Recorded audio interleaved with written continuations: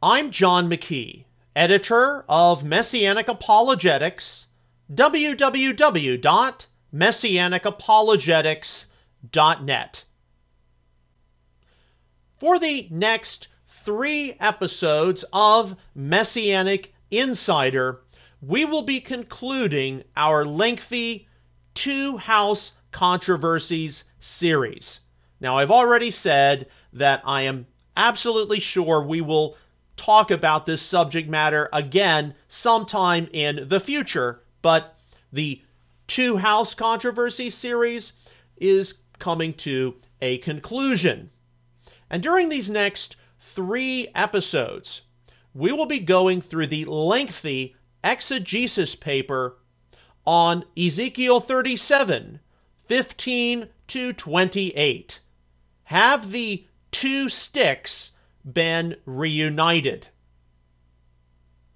Just to make it absolutely clear, I am not someone who is a part of the two house submovement.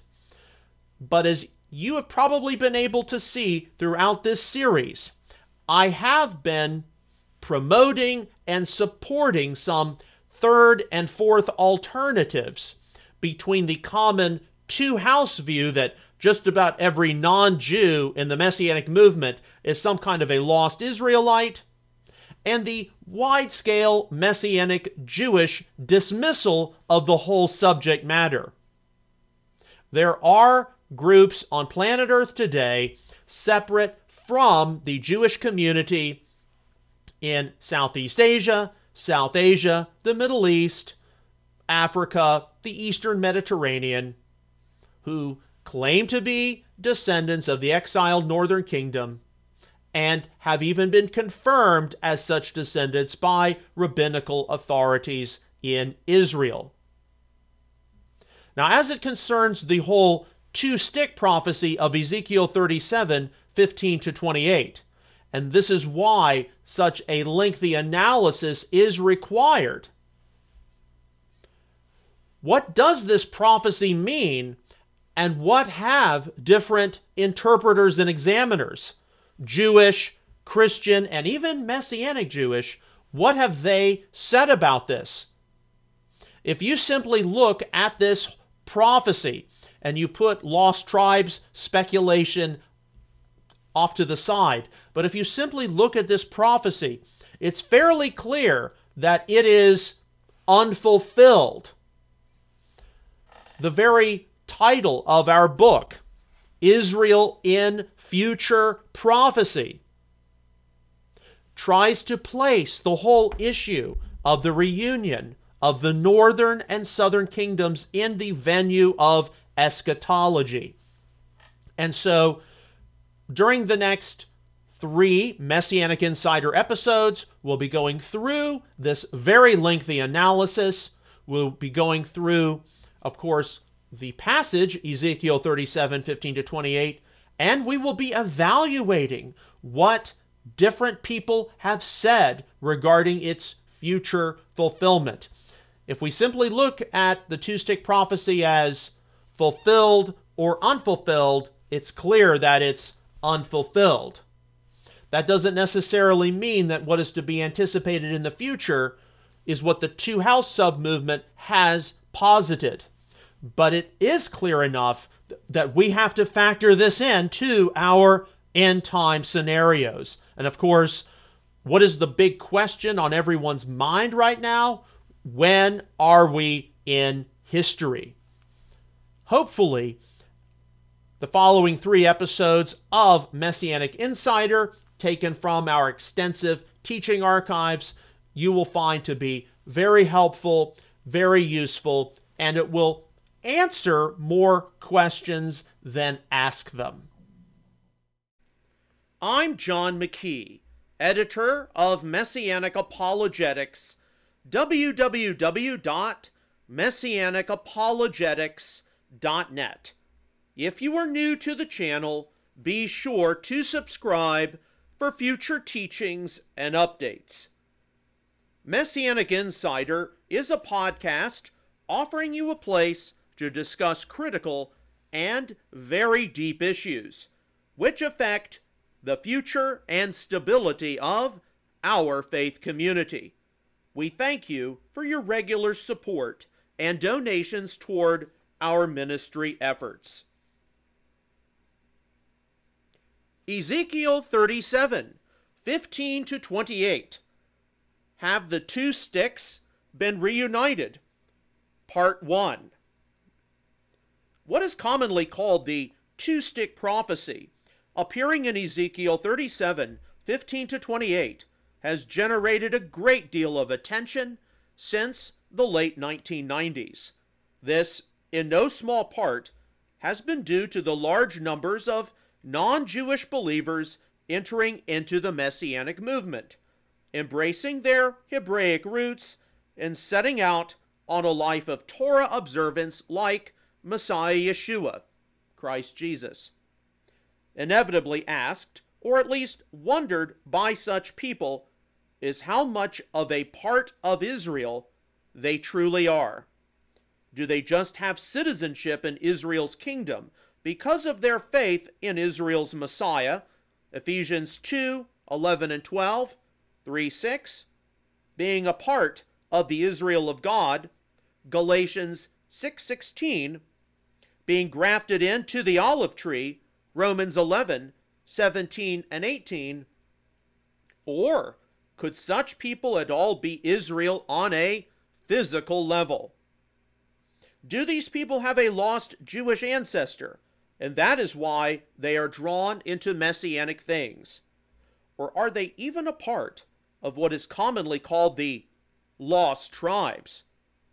Questions have certainly been asked, which have generated a wide number of responses.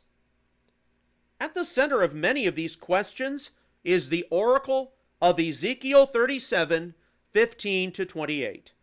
This short selection of 14 verses has generated a huge amount of discussion for proponents, opponents, and skeptics of what has been widely touted as the two house teaching. Many of today's Messianic Jews believe that all Israel was gathered together and restored in ancient times, and that nothing more really awaits. Many other people believe that a larger restoration of Israel awaits in the future eschaton. Many people do not want to touch the subject matter, considering it to be too flammable. Many people do not know what to do especially with all of the opinions floating around, and are confused. What is the truth? Has all of Israel been restored, or is it something with more to be experienced in the future? Who is involved with this restoration? Only Jews? Only physical Israelites? Or all who acknowledge the God of Israel?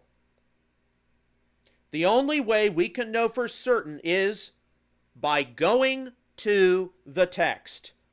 If we do this, we do not have any excuse to overlook or dismiss it with some kind of hyped up rhetoric about the two shticks. And if we do this, we also have to acknowledge that the overriding message of Ezekiel 37 15 to 28 is about bringing all of God's people together, and that we should not unnecessarily be driving people apart with either this prophetic word, anything we might relate to it, or some kind of associate agenda. Are we really ready to see whether the two sticks of Ezekiel 37 15 to 28 have been reunited? I think that an exegetical paper on this passage of Scripture, engaged with scholastic proposals from the past half century or so is long overdue. I have been quite curious for a while as to what this investigation will uncover. Why some of the biggest and most well known leaders and teachers in the two house sub movement have yet to write anything detailed on this prophecy makes very little sense to me. Would they at least be interested in how other people have interpreted it? Jews, Christians, conservatives, and liberals? Or could there be some things seen in the prophecy that they do not wish to recognize because they have made this subject matter something a bit too simplistic and underdeveloped? Have some of today's popular or populist two house proponents actually failed to follow some of this prophecy's clear directives? I have been interested in this prophecy for quite a while. I think that when we weigh not only the claims of the text, but also the different views that are out there, we can safely say that the two sticks of Judah and Israel or Ephraim have not been reunited. Yet, this prophecy also has an important message of fostering unity among God's people, which many of today's popular two house teachers, who you are likely to encounter, have seriously overlooked or just absolutely not implemented. The context and purpose of the prophecy. The prophecies contained in the book of Ezekiel were delivered to the Jewish exiles in Babylon, likely sometime between 593 to 573 BCE, with the book of Ezekiel probably reaching its final textual form sometime after the exile in the later 500s BCE. Many of the messages that we see in Ezekiel were given to motivate the Jewish exiles, so that they would know that in spite of their sins, which caused their expulsion to Babylon, God had not totally forgotten about them, nor was it his intention to never restore Israel. He would erase their record of sin and return them to their land. The two stick prophecy of Ezekiel 37 15 to 28 occurs within a much larger narrative of various messages of hope, Ezekiel 33 1 to 48 35. It is wedged between a description of the prophet Ezekiel as a watchman, Ezekiel 33 1 to 20, an explanation of Jerusalem's fall, Ezekiel 33 21 to 33, a prophetic word delivered against false shepherds, Ezekiel 34, judgment declared against Mount Seir and Edom, Ezekiel 35, a prophetic word on how the mountains of Israel will be fruitful and how God's people will be given new hearts, Ezekiel chapter 36, and the valley of the dry bones depicting the resurrection of Israel, Ezekiel 37 1 to 14. After the two stick prophecy, prophetic oracles are delivered against Gog and Magog. Ezekiel chapters 38 and 39. And the remainder of the book of Ezekiel is spent discussing the reconstruction of the temple and the inauguration of a new spiritual order. Ezekiel chapters 40 to 48. It is not at all surprising, seeing the various themes of Ezekiel, why many people are confused, and why many do not really know how to handle the various symbols and images employed by the prophet. Are these images to be taken literally or figuratively? Will there be a real restoration of Israel to the promised land, or should we allegorize these passages? Does this concern an ancient 6th century BCE scene or something to occur in the distant future? Will there be a physical temple reconstructed for a future millennial kingdom where God's presence will manifest itself on earth? Or is this just symbolic of the ecclesia and God's people possessing his spirit? Anyone who chooses to give some kind of significance to the two stick prophecy of Ezekiel 37 15 to 28 is admittedly walking into a place where this divine oracle is actually one of the least controversial words, given what is seen in the surrounding chapters. The two stick prophecy of Ezekiel 37 15 to 28, no different than the other prophetic words seen in chapters 38 to 48, is seriously meant to inspire the Jewish exiles in Babylon. God had not abandoned them, and by his power, he was going to accomplish some awesome works. The prophet Ezekiel, in his unique style, uses physical objects such as eitzim, pieces of wood, to visually show his audience that the Lord is going to perform important activity. Daniel I. Block observes how, quote, there are no convincing reasons, historical or otherwise, to deny Ezekiel credit for both the visual and oral presentation of this prophecy in a text that affirms his literacy. He may even have been responsible for its transcription. Unquote. I.e., Ezekiel 37 16 20. The circumstances that the two stick prophecy intends to reverse is the division of the ancient kingdom of Israel, which had been split since King Solomon's death in 921 922 BCE, 1 Kings 12. The theme of the two stick prophecy not only concerns the general restoration of Israel, but the reunion of Israel's divided kingdom. The southern kingdom, which had remained loyal to the Davidic monarchy, was known as Judah. 1 Kings 12, 22 to 44, with the northern kingdom known as either Israel or by the name of its largest tribe, Ephraim, i.e., Hosea 5 3, 5, 11 to 14. Ephraim is also used as the name of the northern kingdom possibly because its first monarch, Jeroboam, was from the tribe of Ephraim. 1 Kings 11:26. The northern kingdom of Israel or Ephraim had been corporately taken away into captivity by the Assyrian Empire in 722-721 BCE, with Judah being taken away in a series of exiles by the Babylonian Empire in 606 597, and 586 BCE. Somehow and in some way, God is going to miraculously bring all of Israel back together.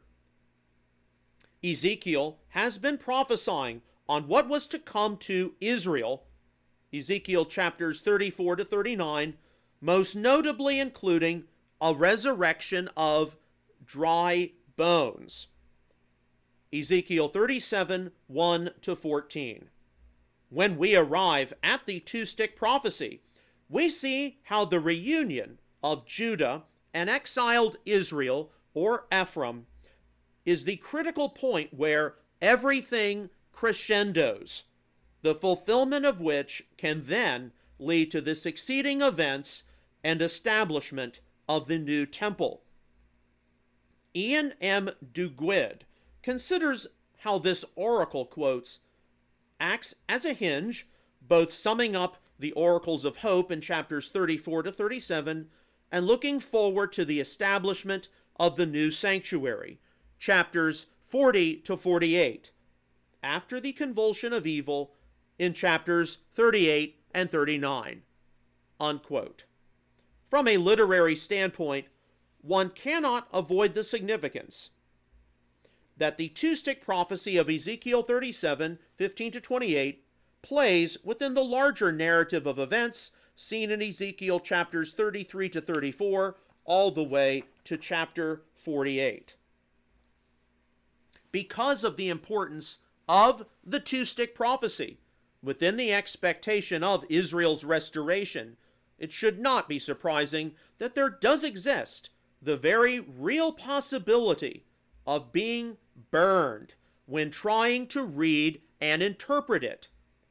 Charles H. Dyer has to mention one view of how, quote, some have claimed that the two sticks represent the Bible, the stick of Judah, and the Book of Mormon, the stick of Joseph. However, this assertion ignores the clear interpretation in verses 18 to 28 and seeks to impose a foreign meaning on the sticks. Unquote. One only need to add to this mix various speculations made by both British Israel and Christian identity people and their many offshoots and the significant anti Semitism they promote. For some, the association of these groups to this prophecy is just too much, and so they think that it is best to avoid the prophecy of Ezekiel 37 15 to 28 altogether. But even though there have been abuses with the two stick prophecy, and no one can deny how there have been aberrant groups who have interpreted it throughout recent religious history, it is nonetheless a part of the biblical canon that cannot be avoided. At the exact opposite end of the theological spectrum, one encounters the thoughts and sentiments of liberal interpreters who engage with Ezekiel 37 15 to 28. Katheryn Pfisterer Darr makes the remark of how God's quote, plan for the people encompasses not only those who survived the collapse of Judah and their offspring, but also the descendants of those northern Israelites who, in the wake of Assyria's defeat of their kingdom in 721 BCE, were dispersed across the Assyrian Empire a century and a half earlier. Far fetched as this may sound, it was a pulsating hope at the time. Unquote. Yet, liberals think that this is not something we are to really take that seriously today. Darr further notes various challenges that have existed concerning the authenticity of Ezekiel's prophecy, specifically in how, quote, from the perspective of many modern day commentators, there is evidence to suggest that in addition to clarifying glosses interspersed here and there, the original Sign Act account was subsequently expanded, unquote, by later redactors. So, liberals say how much of the two stick prophecy is real cannot be known for certain, and we need not give it too much significance. While most proponents of a larger restoration of Israel yet to come adhere to the view that the prophecy of Ezekiel 37 15 to 28 is yet to be fulfilled, few are actually aware of the wide diversity of interpretations that exist in contemporary theology today. Jewish and Christian commentators have had more time to deal with the book of Ezekiel than any of today's messianics. Even though one can correctly assume that laypersons have been largely ignorant of the two stick prophecy, it is not right for us to assume that rabbis and theologians have been totally ignorant. Anyone who has had to write a commentary on the book of Ezekiel has had to interpret it on some level. This most especially includes conservative, evangelical interpreters who consider 37 15 to 28 to be an authentic Ezekielian prophecy that somehow concerns the future, with whom we will be engaging the most. As John B. Taylor summarizes it, quote, in the restored Israel, the old divisions of north and south will be abolished and the nation will be united in God's hand. The interpretation of this, however, raises a number of controversial issues. If the inhabitants of Israel or Samaria were scattered throughout the Assyrian Empire, is there any prospect of their descendants being literally brought back with the exiles from Judah into the Promised Land? Or are we to understand Israel as simply consisting of those men of northern tribal origin who had associated themselves with Judah from time to time? Do we allegorize it all and see it simply as a picture of the church, the new Israel, united in the future kingdom of God? Unquote. These are only a few of the interpretations of Ezekiel 37, 15 to 28, which are present in today's theology. Taylor is right to recognize, though, that the vision foresees the removal of divisions between northern and southern Israel and the establishment of a single sanctuary, reversing the split enacted after Solomon's death. 1 Kings 12 25 to 33. And, not to be overlooked, is how Ezekiel's word is to be applied to the daily mission and focus of today's believers, where we strive to see the Lord's people all brought together as one in Him. In our examination of this prophetic oracle, we will assume that the material is more or less authentic to Ezekiel himself, but that Ezekiel was probably not the one who transcribed it in its final form. Our responsibility is to deal with the text in its final canonical form, recognizing how all of what is seen in Ezekiel 37 15 to 28 is concurrent with the will of God and overall message of the prophets, even if a few points here or there might have been added by a later editor. Leslie C. Allen specifically describes how, quote, verses 15 to 28 represent a basic text that has been subsequently amplified, as is the case with very many of the literary units in the book. Its early part derives from Ezekiel, but seems to be later than verses 1 to 13, which still reflect the shock of the catastrophe in 587 BC. It looks back at the crisis reflectively and ponders deeply upon its reversal. Unquote.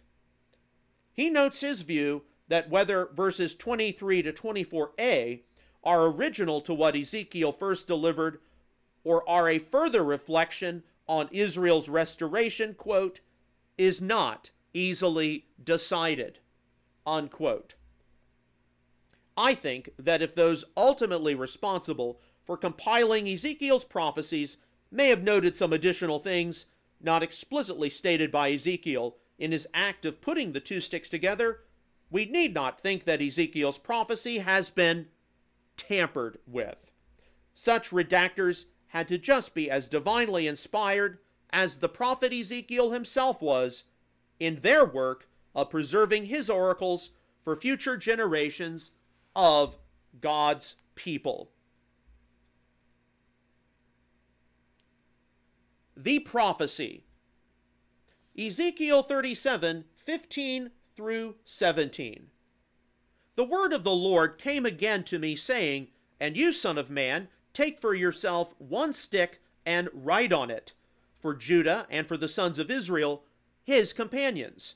Then take another stick and write on it, for Joseph, the stick of Ephraim, and all the house of Israel, his companions. Then join them for yourself one to another into one stick, that they may become one in your hand. New American Standard. Ezekiel 37:15. The two-stick prophecy begins with the important indicator of its origin. Ezekiel says, "A message came to me from the Lord." New Living Translation. The term davar simply relates to word, or quite possibly also an affair thing. Holladay lexicon. This davar Adonai coming to Ezekiel is simply a recognition of the prophecy's divine origin, as the revelatory work of God is often expressed by the word of the Lord came to or upon a person. Theological word book of the Old Testament. Being such a divine matter, any interpreter of Ezekiel's prophecy that follows has to make sure that he or she is sure to render due honor to the source from which it came and his intention for his people. It is a very important matter to our Heavenly Father, which is not to be mocked, misappropriated, or abused. Ezekiel 37 16. The prophet Ezekiel is instructed by the Lord to take a physical object and perform a symbolic act. He tells him, Son of man, take for yourself one stick and write on it. When reading this prophecy, we are not at all unjustified to ask, Who is this Ben Adam? Is it simply describing Ezekiel as a mortal? New Revised Standard, New Jewish Publication Society version, or is more intended? In verse 19, we later see how it is God Himself who fuses Israel together, while Ezekiel might be the one called to pick up a piece of wood and write on it. Is it at all inappropriate to recognize this Ben Adam as ultimately being the Son of Man, Yeshua the Messiah? Scholars largely recognize how Son of Man is the one term that the Messiah refers to himself as in the Gospels more than any other, originating from the various Danielic references to the Bar Enosh, who is given ultimate power and dominion. Daniel 7 13 and 14. It would certainly not be a stretch to conclude that even though Ezekiel takes the stick and presents it to his audience of Jewish exiles, that it is ultimately God's Messiah who must be the actual one who restores Israel. What does the physical object or stick represent? Ezekiel says how the Lord instructed him Take for yourself one stick and write on it, for Judah and for the sons of Israel, his companions. Then take another stick and write on it, for Joseph the stick of Ephraim and all the house of Israel, his companions. The first stick represents the southern kingdom of Judah, and the second stick represents the northern kingdom of Israel or Ephraim. But is it really a stick? The Hebrew term etz has a variety of possible meanings, including both the plural and the singular tree and trees, as well as wood and timber. Holladay lexicon. The two objects that Ezekiel holds in his hands can very well be considered sticks, but they could just be some generic pieces of wood that he picked off from the ground. S. Fisch considers the Etz to be an, quote, emblem of the royal scepter, unquote. One of the most intriguing views of what the Etz represents, compared to the rest of them, is reflected in the New English Bible extrapolation. Take one leaf of a wooden tablet. Are the two pieces of wood that the prophet Ezekiel is called to take some kind of a wooden tablet or board? This position is especially argued by Block, with supports given from various ancient Near Eastern sources. His viewpoint is highlighted by the fact that the prophecy does not envision the reunification of the monarchies of the northern and southern kingdoms, with the Etz representing some kind of regal staff, but of the kingdoms themselves. Quote, Nowhere is the union of the northern dynasty with the Davidic house contemplated. On the contrary, the northern kingdom was considered an aberration from the beginning, and all its kings illegitimate. Here, Ezekiel takes extra pains to link these wooden objects with their respective nations rather than their kings, and in the interpretation to follow, he will highlight Yahweh's activity of bringing the descendants of Israel to their own land and making them one nation. Unquote. The necessity of the pieces of wood that Ezekiel is to join together, being writing tablets, in the view of his audience, at least a Block, is substantiated by some other prophetic words. Isaiah 30, verse 8 Now go, write it on a tablet, luach, before them and inscribe it on a scroll, that it may serve in the time to come as a witness forever. Habakkuk 2 2 Then the Lord answered me and said, Record the vision and inscribe it on tablets, lukot, that the one who reads it may run. Both references New American Standard. With these other prophecies in view, it is certainly not outside of the realm of possibilities for the two pieces of wood for Ezekiel to be holding to be some kind of ancient writing tablets. This could be a bit more significant for the prophet's audience than just two generic sticks, which he might have difficulty writing on. From this angle, Christopher J.H. Wright connects this to what might make the most sense to 21st century people, paraphrasing verse 16 with Take a single sheet of notepaper and write this on it. Then take another single sheet of notepaper and write this on it. Now glue them together down the middle to make the two sheets into one new single sheet. The reason for some that writing tablets or boards, as opposed to just generic pieces of wood, are to be preferred is because upon them the redemptive work of God can be transcribed. For some interpreters, it is insufficient for just Yehuda, Yosef, or Ephraim, and then some other scribbling to be whittled onto a common stick, which may not even possess enough space to contain more than a few words. In Block's estimation, quote, the boards offer visual affirmation of the truth declared in the following promises that all Israel would participate in the envisioned restoration. No tribe or clan would be missing once Ezekiel had presented his interpretation in the sign action, verses 21 to 28. He would have used these tablets to record the oracle. Unquote. This reason is certainly compelling because the prophet Ezekiel would have been unable to record the reunification oracle on a stick that only gave him a few inches to carve into. Furthermore, writing tablets or boards could be used later as a primary source to compile Ezekiel's prophecies into their canonical form. Block's view of the wooden objects to be fused together as writing tablets or boards is both interesting and compelling, although it is speculative.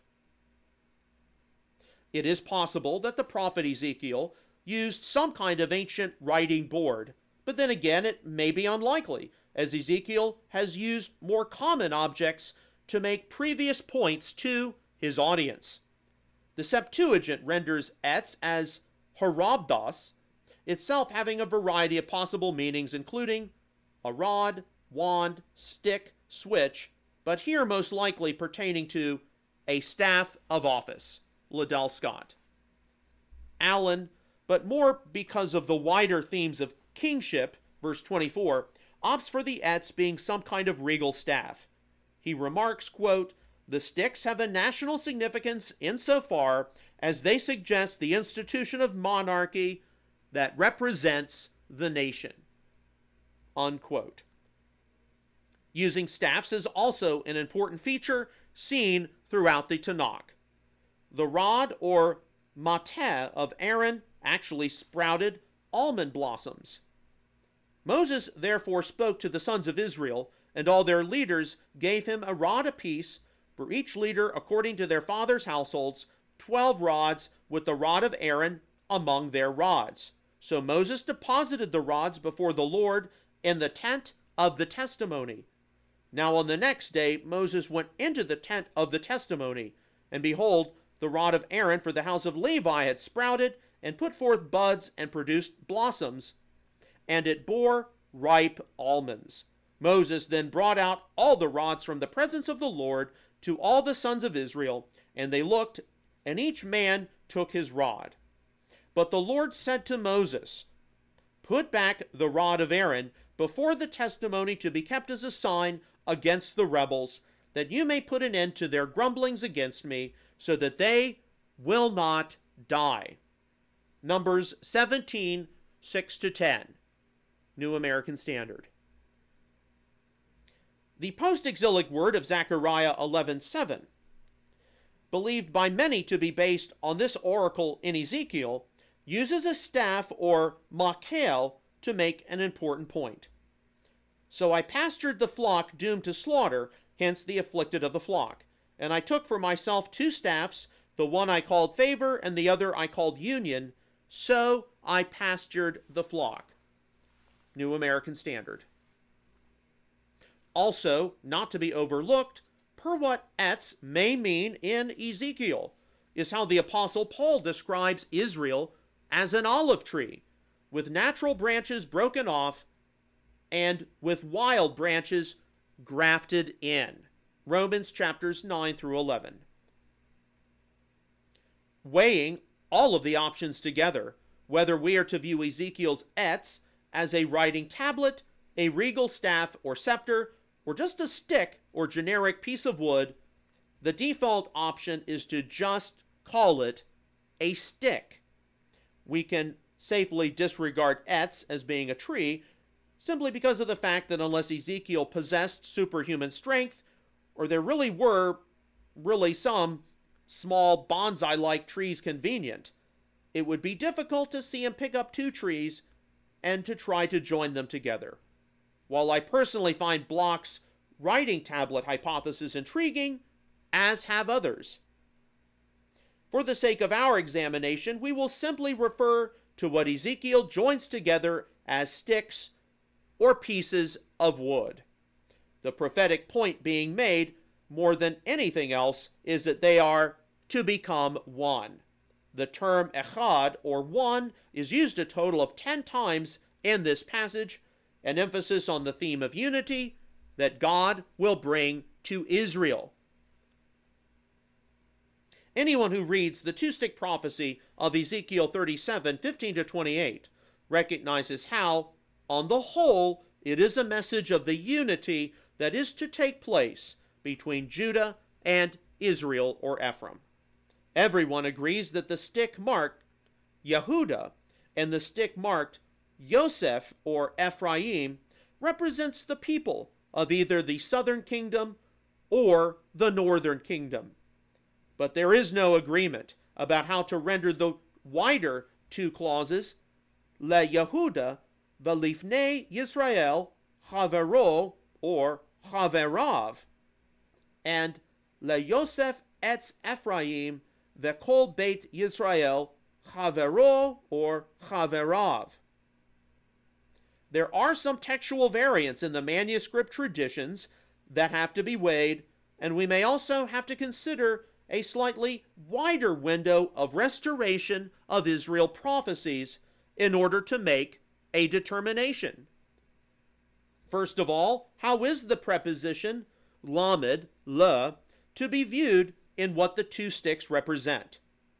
It can mean to, for, concerning, or indicate some kind of possession, as in belonging to. New International Version. Does each stick represent either Judah and Israel as a group of people? Or does each stick represent a power that each possesses? Does it at all regard something that either Judah and Israel must give up to be reunited? Or are these just symbols?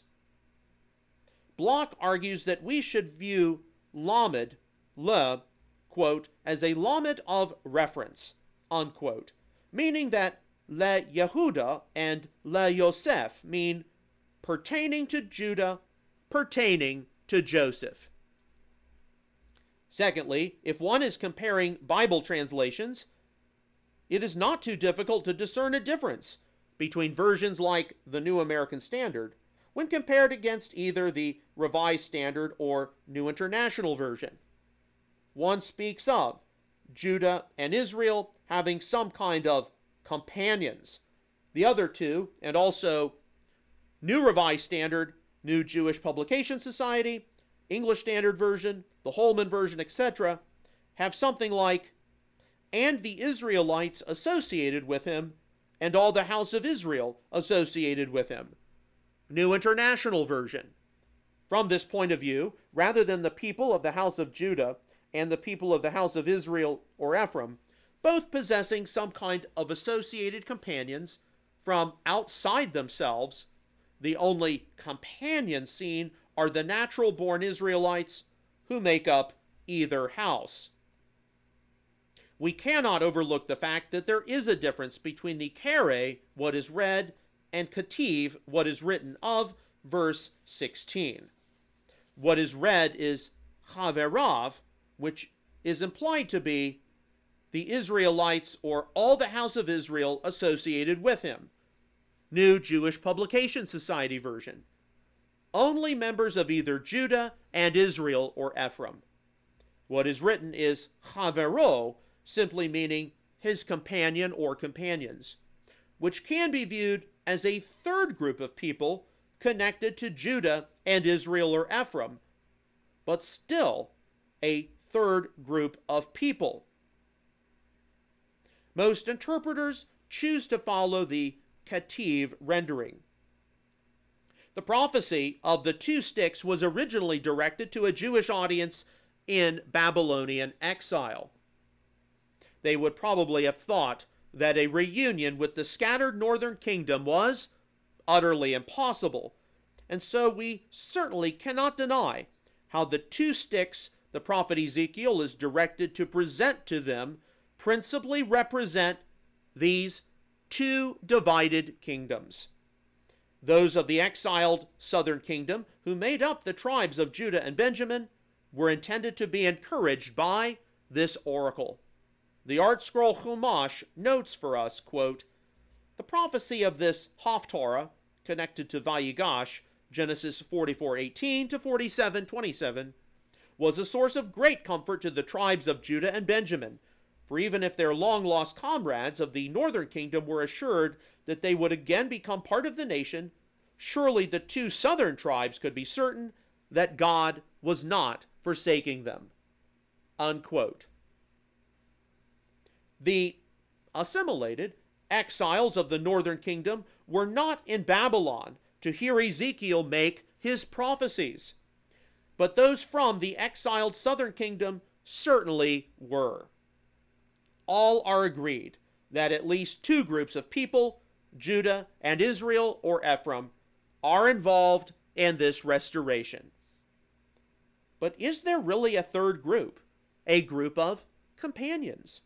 Is the kere or kativ right. The singular term chaver can mean united, associate, companion. Brown Driver Briggs. It appears in Judges 20:11, where the people of Israel are gathered together as one man companions. Young's literal translation. Those of Jerusalem are chastised in Isaiah 123 with your rulers are rebels and companions of thieves. In Song of Songs, we see references to the flocks of your companions and, O you who sit in the gardens, my companions, are listening for your voice.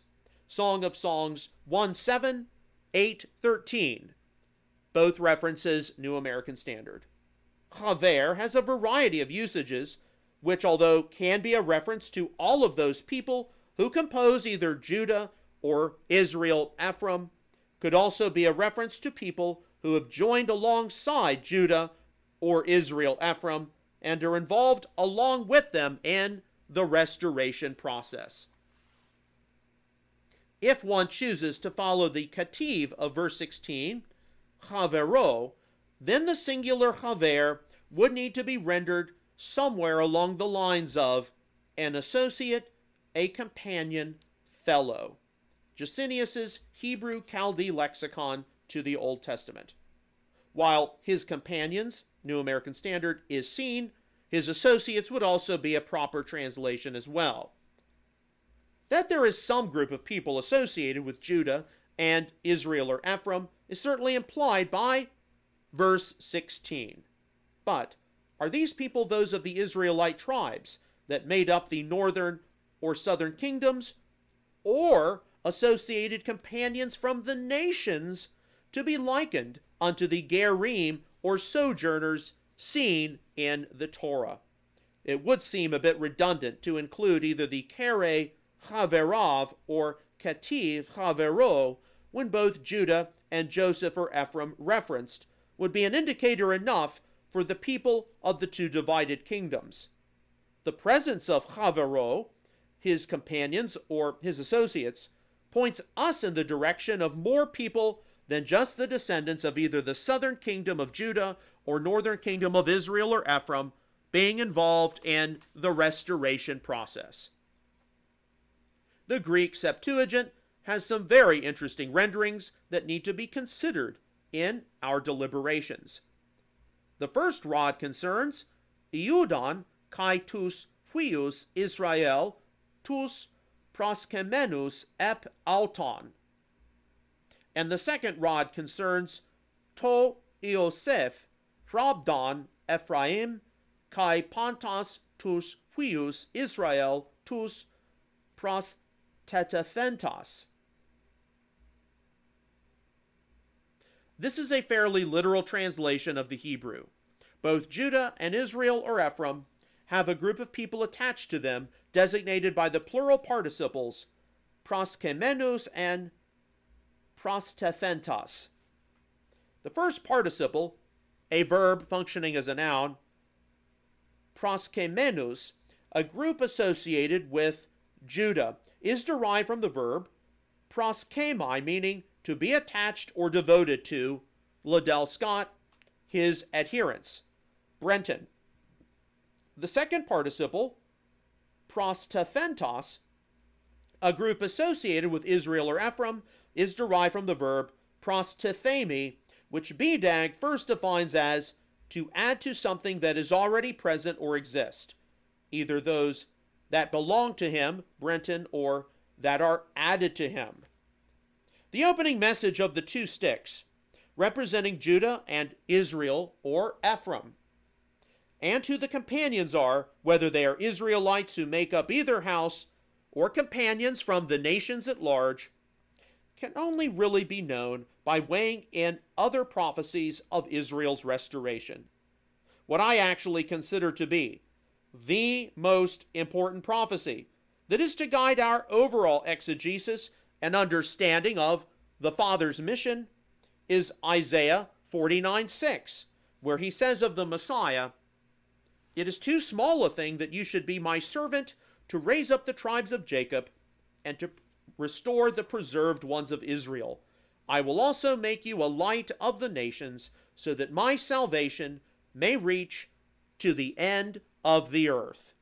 New American Standard. The Lord is not only planning to bring Judah and Ephraim together, his salvation is going out to the entire world.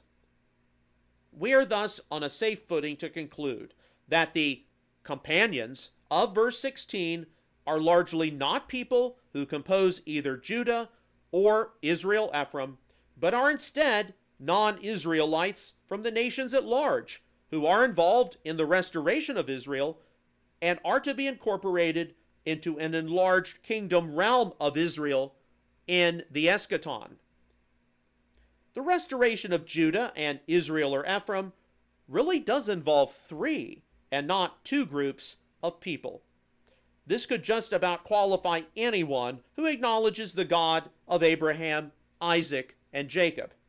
And it is most probable that the significant majority of people involved in the two stick reunion are actually welcome companions from the nations themselves. Ezekiel 37:17. The prophet Ezekiel is instructed by God to do something with the two sticks. Then bring them close to yourself, one to the other, like one piece of wood, and they will become united in your hand. ArtScroll Tanakh. The two sticks are to be made into Etz Echad, representing a reassembling together. We can certainly recall here the similar word of Hosea 1:11. The sons of Judah and the sons of Israel will be gathered together. New American Standard. Perhaps most significant and reflective would be the previous oracle of Ezekiel 37 1 to 14 and the reassembling of the dry bones. Just as Judah and Israel are to be brought together in the day of Jezreel, Hosea 1 11b, also Revelation 16 16, so does the revivifying of the dry bones indicate the future resurrection. 1 Thessalonians 4 16 and 17. This is a very good indicator that this word of Judah and Israel becoming a united etz occurs subsequent to the eschaton. Most of what is communicated by Ezekiel thus concerns the future eschaton, and not necessarily the Jewish exiles to whom he was speaking in Babylon. Ezekiel 37 18 and 19. When the sons of your people speak to you, saying, Will you not declare to us what you mean by these? Say to them, Thus says the Lord God Behold, I will take the stick of Joseph, which is in the hand of Ephraim, and the tribes of Israel, his companions, and I will put them with it, with the stick of Judah, and make them one stick, and they will be one in my hand. New American Standard. Ezekiel 37:18. Seeing Ezekiel join two pieces of wood together, the curiosity of the people is aroused, something that is not uncommon. Ezekiel 12:9, 21:7, 24:19. They ask him, "Won't you tell us what these things have to do with us?"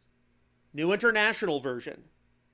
To these exiles, they would be confounded at what all this symbolism would mean.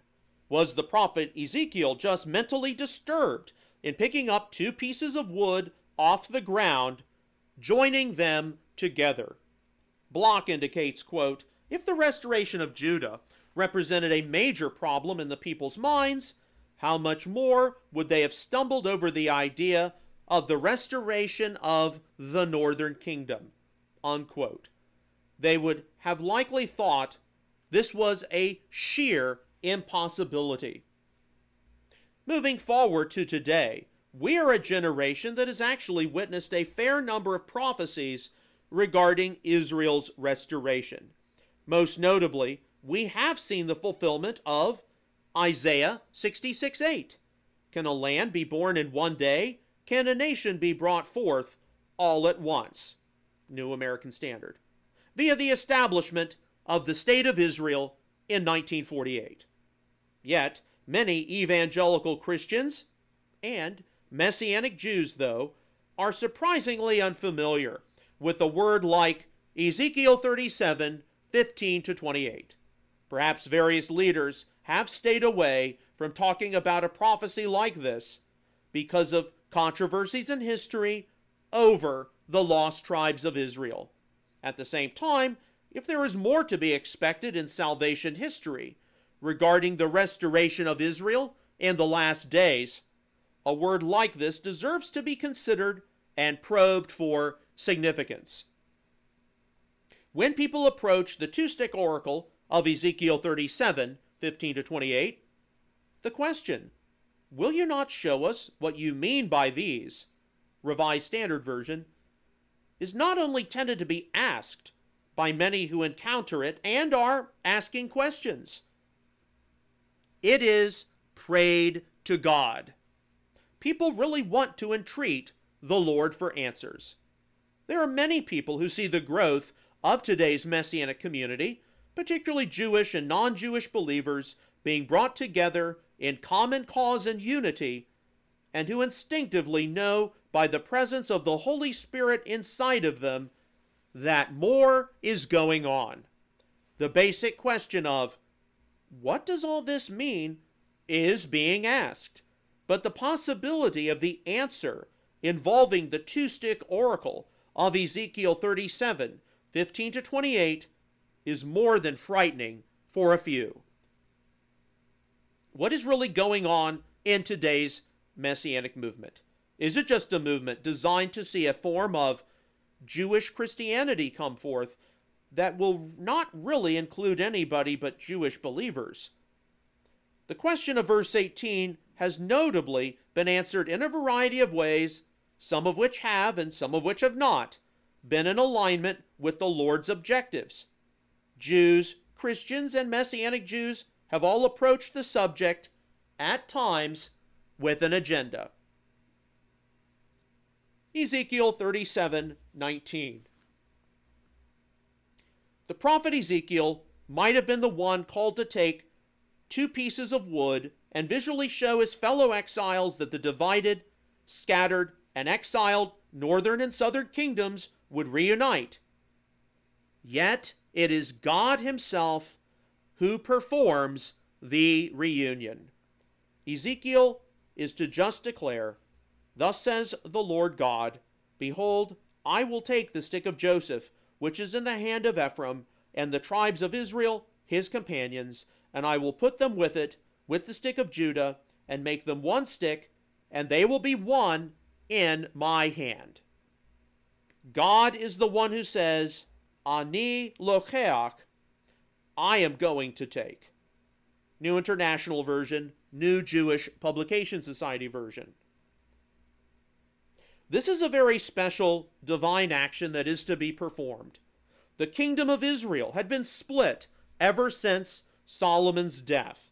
1 Kings 12, and attempts made by southern kingdom monarchs like Hezekiah or Josiah to reunite with people from the northern kingdom 2 Chronicles 30, 34 6, 9, 35 18 had really not succeeded. Duguid notes, quote, the solution to Israel's lengthy history of internal division is not to be found in the appointment of a binational committee to develop a peace process, but in the divine act of reuniting his people. Unquote. And examining the prophecy, it really will take an act of God to reunite Judah, Israel, or Ephraim, and companions from the nations into a single community chosen not only for him, but for his end time service to the world. Daniel 12:3, Titus 2:14 et al. Those who give any significance in their theology or praxis to the two-stick prophecy have to recognize how the job of ultimately restoring Israel's kingdom is to be left in the hands of the Lord. While people may recognize various things in motion, and rightly have a much bigger vision for the Messianic movement than it just becoming another branch of Judaism. The final orchestration of events is to occur in His perfect timing. It is certainly not the job of any messianic ministry or denomination or pseudo denomination to try to declare the reunion of Judah and Ephraim from the halls of some conference, which would actually contribute to seeing people driven apart. Nor is it the job of any interfaith Jewish Christian organization that might downplay the place of Yeshua in a person's salvation. Only God can orchestrate this reunion. He might use flawed people to do it, but the responsibility is ultimately his. It is quite important to remember how King Rehoboam would not do what was right to serve the people contrary to the advice of his counselors. 1 Kings 12 7. He had an opportunistic agenda, and the division between the northern and southern kingdoms was finalized. Today, it is not difficult to see how sectors like the two house sub-movement are utterly riddled with similar opportunists who have not fully heeded the warnings given in the historical books of the Tanakh. Thankfully, though, we can have confidence that God will see his promises come to pass. If you all found this content enjoyable and useful, please be sure to drop a thumbs up for this teaching. As always, we thank you for your continued support of our ministry's efforts. God bless and shalom, and we'll see you again soon. In the meantime, be sure to check us out online at www messianicapologetics.net.